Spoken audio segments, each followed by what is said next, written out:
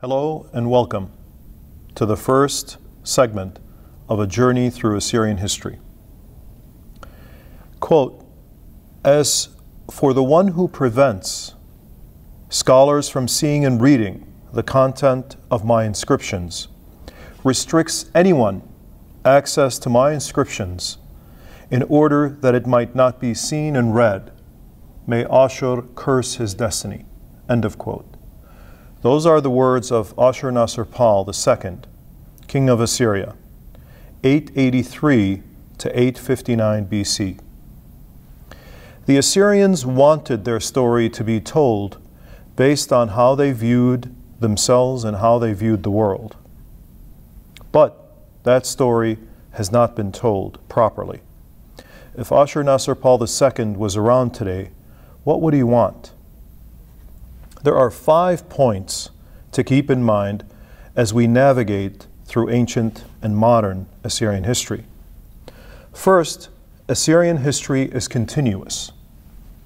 From the ancient period, from the time of the formation of what we come to know as the state of Assyria and later the empire of Assyria, to the time the Assyrians become Christians with the coming of Jesus Christ, to the present time, there is a real relationship, a cultural, geographic, linguistic, historical, demographic relationship between the people of ancient Assyria and the modern Assyrians themselves. This must be acknowledged, and it will be proven as we proceed through these segments. Number two, Assyrian history should be viewed as a whole, but it has been segmented by historians so as to show a disruption between the ancient and the modern Assyrians through the use of labels or words such as Syriac or Nestorian or Aramaic and so on. Why is this? Well, Assyriologists study Assyrians in the ancient period up to the fall of the empire. Syriac specialists focus on Assyrian or Syriac Christianity, what they term Syriac Christianity, and the two often don't meet. Thus, historians, either because of negligence or intention, often feel that the two, the ancient Assyrians and the Assyrians who converted to Christianity, are two separate entities. And certainly the ancient Assyrians and the modern Assyrians do not come together.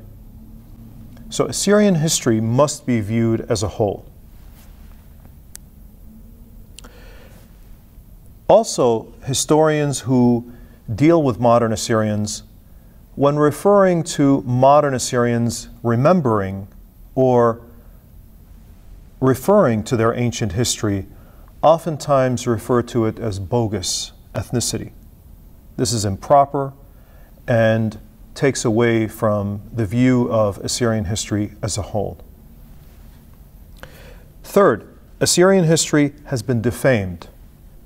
Assyrians have been viewed as the most ruthless and barbaric and bloodthirsty people in history.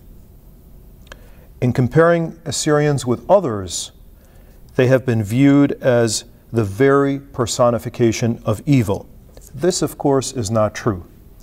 And as we go through the segments, you will see that the Assyrians conducted diplomacy and placed as much importance on diplomacy and political um, uh, endeavors and uh, peaceful um, endeavors as much as they did on warfare.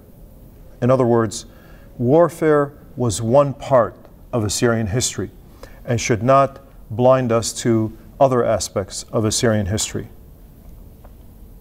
Number four, Assyrian achievements have been diluted or lost. What was achieved by the old Assyrian state, for example, 2600 BC, the old Assyrian state in commerce and law has been lost to many people or has been uh, diluted. In terms of business practices and laws and administrative practices, the Assyrians were extremely advanced.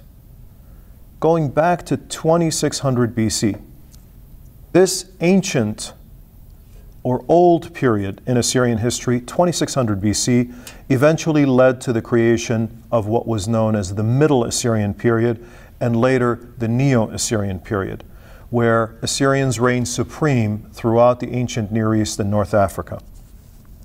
This was no small task because the greatest human enterprise at the time was the Assyrian Empire under Sargon II, Sennacherib, Esarhaddon, and Ashur Banipal. The Assyrian kings list, showing 120 kings following one another, shows that the Assyrian Empire and the Assyrian enterprise was a stable one.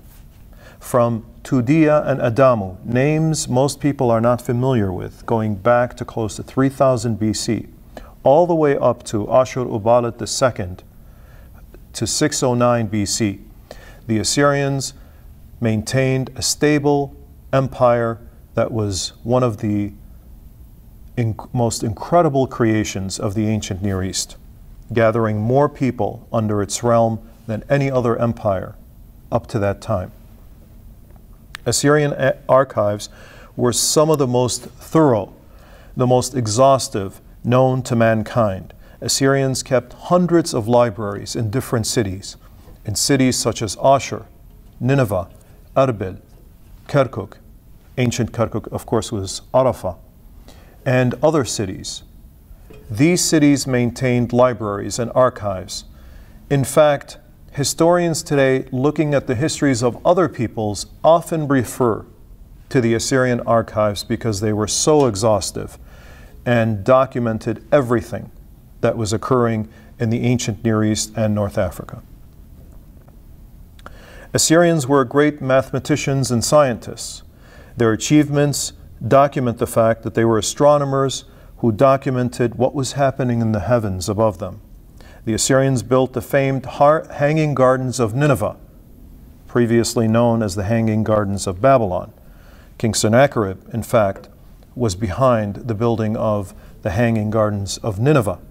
This was an incredible achievement in engineering and gave other civilizations, such as the Greeks, the knowledge of engineering and mathematics, which up to that time was not present.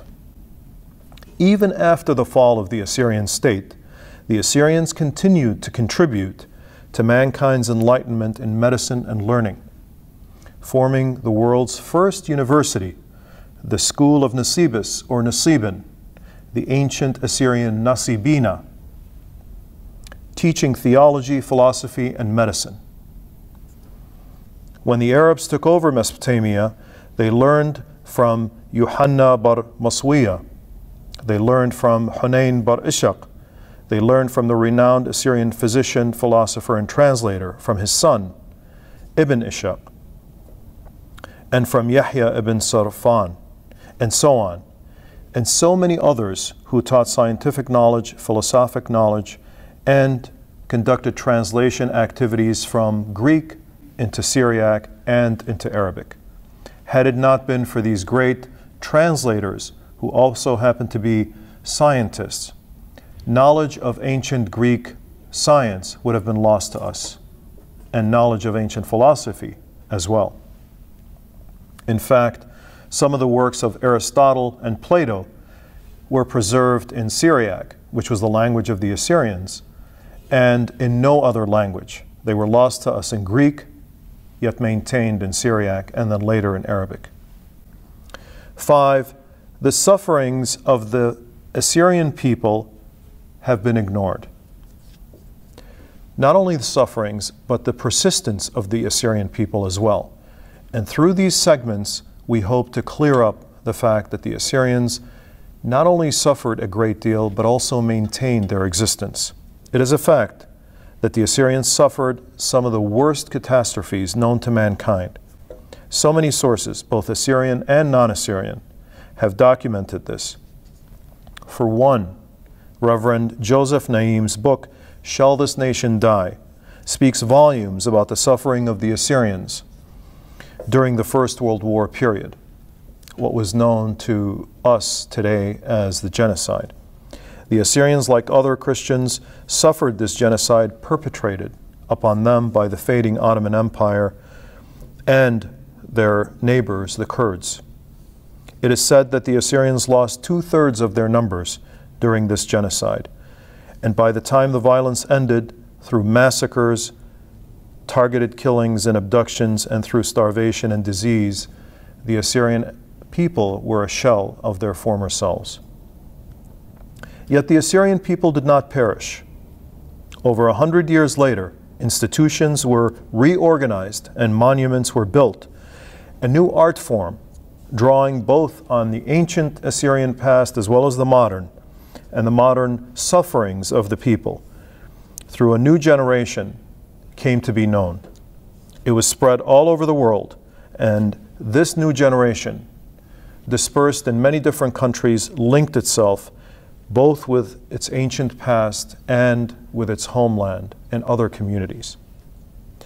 As the artifacts of their ancestors were featured in museums in Chicago, London, Berlin, Paris, Moscow, Baghdad, and so many other cities, their pride in maintaining and strengthening their identity became stronger and more pronounced. The Assyrians of today want scholars to read their story, their entire story, a story that has not been properly told, but only told in segments so that we see a disruptive and segmented history. That is to be changed. We seek to tell the story as a comprehensive one, one that is connected in time and space. It is a story based on oral, documentary, and archaeological sources, from the Assyrians themselves going all the way back to Ashur-nasir-pal II who cursed the destiny of those who seek to muffle his voice and to blind us to the content of his inscriptions. Thank you, and see you next time.